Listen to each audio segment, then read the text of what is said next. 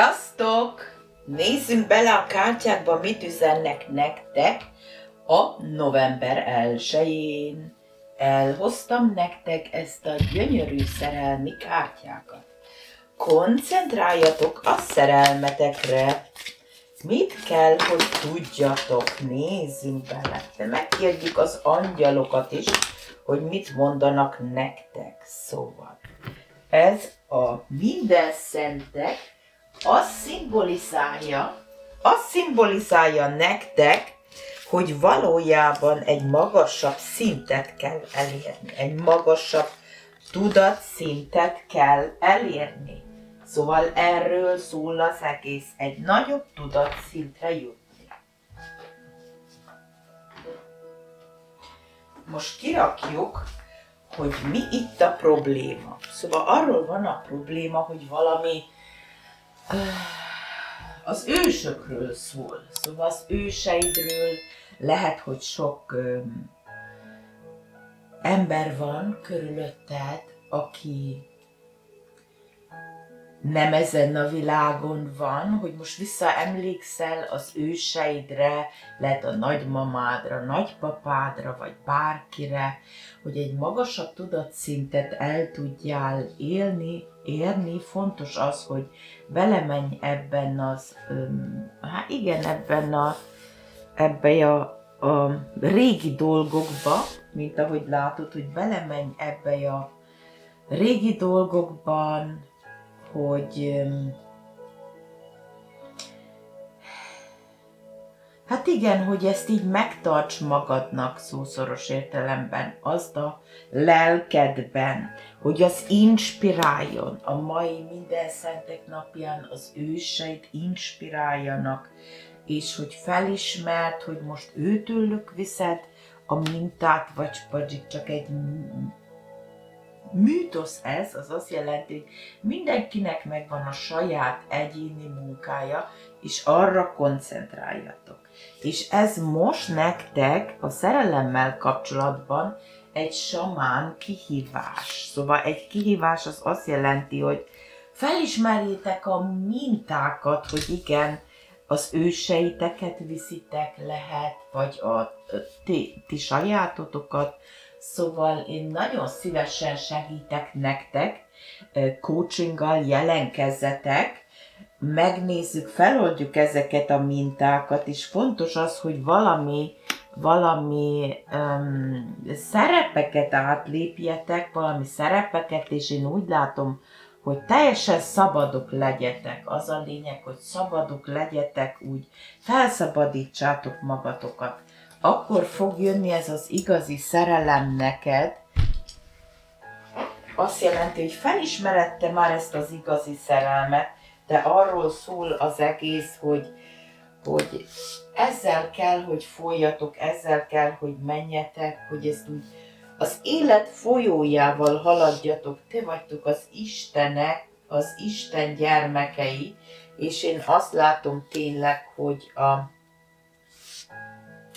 azt látom, itt van tényleg, hogy hogyha bűnnek éreztek valamit, akkor azt próbáljátok elérni, hogy azt próbáljátok elérni, hogy ne legyetek bűnösek, hanem bűntelenek legyetek, és akkor itt a vízió körülöttetek. Hát én azt látom, hogy vannak itt ilyen sötét történetek, itt ezek a múltból jöhetnek nálad fel, ami valami módon befolyásolnak tégedet. Ezek a sötét pontok, persze ez azt jelenti, hogy valamit már átéltél az életedben, ami téged nagyon megviselhetett, ami téged nagyon leterhelt, az is lehet, hogy játszik itt egy szerepet, és én azt látom, lehet azt ad, hogy, hát hogy, hogy ítéled ezeket a dolgokat el, hogy pozitív vagy negatív, vagy hogy látod ezeket a dolgokat. Arról szól az egész, hogy ebbe belenézzél, hogy arról szól az egész, hogy hogy is látod ezeket a dolgokat, és akkor vannak itt ilyen valami elvárások. Szóval ezek az elvárások azt szimbolizálják, hogy lehet, hogy túl sokat elvársz önmagadtól, nyomás alá teszed önmagad, ez mind játszhat egy szerepet, és ezt mind feloldhatjátok mostan, feloldhatjátok mindet mostan, méghozzá um, feloldhatjátok most, um, mondja gyorsan ebben a minden szentekben, készítek szintén nektek egy meditációt is, bejelentkezhettek, nagyon szívesen várlak benneteket, és most megnézzük, hogy mit üzennek neked az angyalok valójában. Az angyalok is mondanak mindig valamit, és még a tarót is meg fogjuk kérdezni, hogy mit üzen a taró nektek valójában. Szóval arról szól az egész, itt azt mondják az angyalok, hogy a zöld, az zöld fény, hogy a természetben menjél ki, és ismert fel, hogy mennyire gazda ez a természet, ez akkora áldást fog neked adni, és hogy arra koncentrálj, és engedd el a régi mintákat, azt mondják. Valamint arról szól az egész, hogy megtaláld a békét, hogy az egységet, megtaláld a békét, hogy felismert tényleg, hogy minden belélegzés, minden kilélegzés, ami úgy benned van, azt találd meg, és Fogad be az életedet, az életet, persze a belélegzés és a kilélegzés az az élet, hogy úgy legyél annak tudatában, hogy most a jelenbe vagy, és abból tudsz tényleg teremteni. Valamint azt látom, hogy a kerubim angyal kísért tégedet, és a hát az, hogy valami transformációt kell, hogy átlépjé, és minden érzést, hogy felismert, és milyen érzések jönnek nálad fel. Nézd meg, hogy féltékeny vagy lehet, dühös vagy lehet, mérges vagy, és akkor ezt te transformáld el, és menj az intuíciódban. És én azt látom a Gabriel angyalt, hogy én Gabriel vagyok, azt mondja, és a kristály fehér sugáron dolgozok, és én neked az új kezdetet hozom. Ezek az új utak várnak rád, és készen állnak, hogy új helyet találjál nekik.